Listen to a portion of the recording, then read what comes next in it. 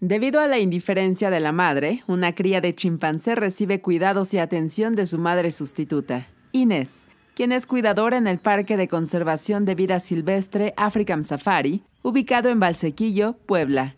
La mamá de esta pequeña cría era conocida en las playas de Cancún, Quintana Roo, como la Coco, una chimpancé que tomaba cerveza y fumaba, debido al descuido del hombre que la tenía hasta que personal de la Procuraduría Federal de Protección al Ambiente rescató a dicho animal, hace cerca de cuatro años.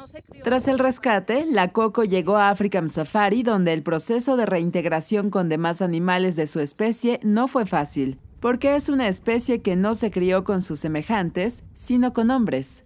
Pues la tenía una persona que, que igual la, cuidaba como humano y y la alimentaba como humano y pues ella no tenía así como mucha, mucho espacio, muchas habilidades para estar como un chimpancé, ¿no? Y nunca convivió con chimpancés, entonces cuando llegó acá pues sí, le tenía como pánico a los chimpancés. Con la pequeña cría en brazos, Inés relató cómo es el día a día con este ejemplar de solo siete meses de edad, la cual tuvo que ser separada de su madre chimpancé porque ésta no le pudo dar los cuidados que requiere el pequeño animal. La jornada, pues a las 9 de la mañana hay que darle su primer biberón, no contando la de las noches que se le da, pero se le da cada tres horas.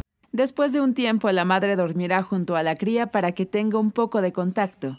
Incluso comenzarán tocándose la yema de los dedos, tal como lo hizo con su primera cría, que ahora ya tiene tres años de edad. Con información e imágenes de Ángeles González, corresponsal en Puebla. Notimex. Y lo padre es que